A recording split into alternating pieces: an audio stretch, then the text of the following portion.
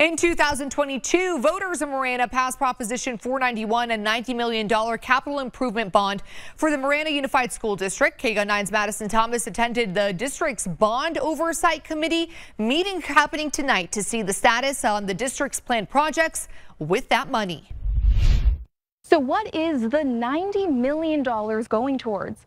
Well, the district has plans for a new K through 8 school, renovations at existing schools, security and technology updates, along with transportation improvements. Bond sales in 2023 and this year each totaled $35 million. The final 20 million will come next year. Projects are already underway, with more to come once school is out. I think almost every single one of our schools will have some type of project happening over the summer. Some of these projects will include improvements to restrooms at middle schools and high schools, parking lots, and playgrounds. We're doing some replacements at some campuses, so maybe portions, and then we're doing a lot of painting and recoding. By the end of this school year, the district plans to have the groundbreaking of their new school with space for up to 800 students. The new K-8 is in the North Marana area, so it'll be uh, closely located to both both uh, Estes Elementary School